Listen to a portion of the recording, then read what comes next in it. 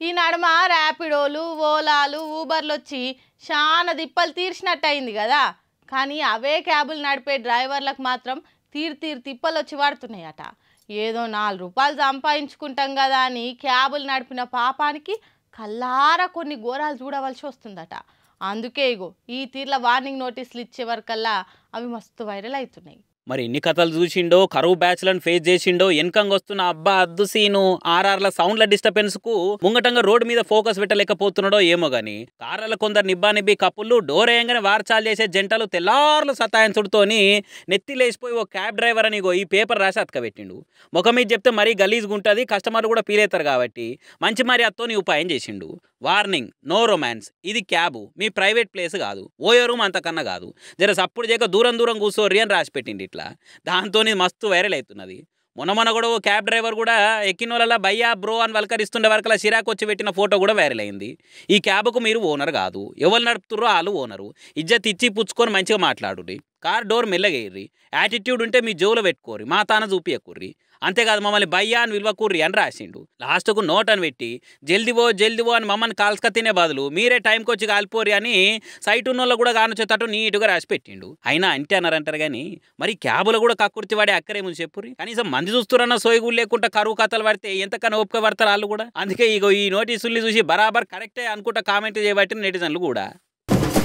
బండ్లు కార్లల్లా ఊర్లల్లకు పోతే వందలకు వందలే అయితే అని ఆర్టీసీకి కూడా పోదామని అనుకుంటుర్రేమో. వాళ్ళు తక్కువేం వసూలు చేస్తలేరు. పండుగ పేరు చెప్పి దసరా అయిపోయి వారాలు అవుతున్నా కూడా ఇంకా టికెట్ రేట్లు పెంచి పండుగ చేసుకుంటుర్రట.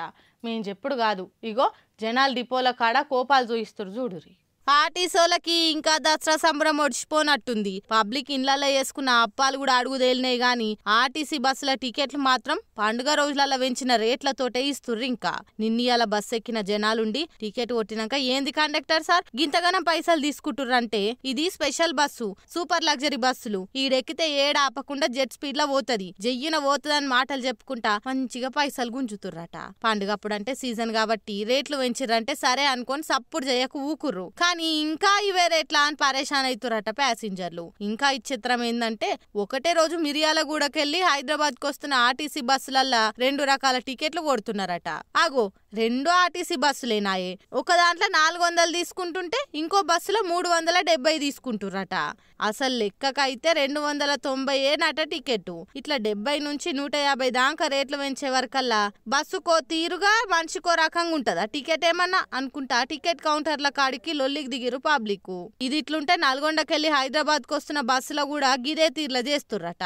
నూట ఎనభై ఒక దాంట్లో రెండు వందల యాభై ఇంకో దాంట్లో టికెట్ రేట్ ఉండే వరకల్లా ఒక బస్సుకు పండుగ అయిపోయింది ఇంకో బస్సుకు అయిపోతలేదా? ఏం కథ మరి? పండుగ అప్పుడు జనాలు దండిగా ఉంటారని స్పెషల్ బస్సులను పెట్టి పైసలు ఎక్కువ తీసుకురంటే ఏమో గాని పండుగ ఎప్పుడో అయిపోయి. ఇంకా అట్లనే ఉంచుడేందని గట్టిగా అరుచుకుంటారు జనాలు. ఆ ఇంత ఆడోళ్ళకి ఫ్రీ బస్ పథకంలో అవుతున్న లాసును కవర్ చేసుకునే తందుకు ఇట్లా పండుగ అయిపోయినా కూడా ఎక్కువ తక్కువ ఛార్జీలు ఉంచిరు అనుకుంటా పొల్లు పొల్లు తిడుతున్నారు పబ్లిక్. మరి ఆర్టీసీ వాళ్ళు అఫీషియల్గా దీని మీద ఏం జవాబు చెప్తారో చూడాలిగా. మిర్యాలగూడ నుంచి హైదరాబాద్ వెళ్తున్నాం సో ఏంటంటే వీళ్ళు మనకు బస్సులు అనేది లోపల దిగు అక్కడ పోకుండా ఇక్కడ బయట పెట్టి స్పెషల్ పెట్టి మనిషికి ఫోర్ హండ్రెడ్ స్పెషల్ అట. అసలు అసలు టికెట్ అయితే ఎంతనా? అసలు అయితే టూ నైంటీ. రీసెంట్గా మన దసరా ముందు టూ నైంటీ. ఒక్కో మనిషికి ఇప్పుడు ఫోర్ హండ్రెడ్ ఫోర్ హండ్రెడ్